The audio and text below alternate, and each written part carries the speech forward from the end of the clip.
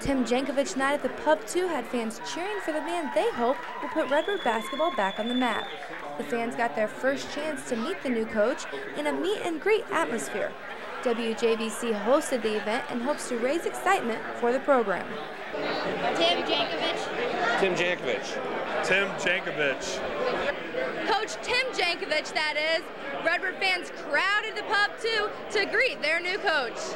I like him a lot. He's got a good coaching pedigree. He's got a lot of experience. Comes from a big conference. Uh, he's a very good recruiter. He's offensive-minded coach, which is, is a good thing. And uh, I'm, I'm, excited about it. I think he's the right fit. Jankovich takes the reins as head coach, replacing Porter Moser. Fans welcomed the new coach and even gave their predictions for the upcoming season. I'd say we're going to be in the top half of the valley. We got to beat Bradley twice, Southern twice. 33 and 2. Divisional champions. I'd like to see 15 wins out of the out of the Redbirds this year.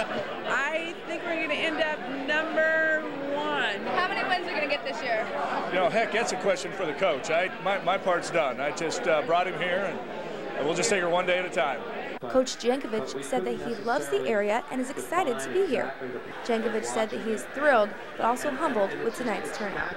What it means uh, is that, that people here really want, they, they want the basketball program to do well, and, and, and I want them to want that, and, and I, I felt like when I came here that that was important to people. I would not have come here if I thought basketball was not important. And, and, obviously, this is this is an indicator, and I'm, I'm very appreciative, and, and, I hope that uh, it just grows from here. Fans got to know the coach on a very personal level. Coach Jankovich spoke about his wife and son, but he also revealed the key to his heart.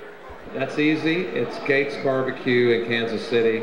No questions asked. Best restaurant in the history of the world. Coach Jankovich and the Redbirds have begun individual workouts.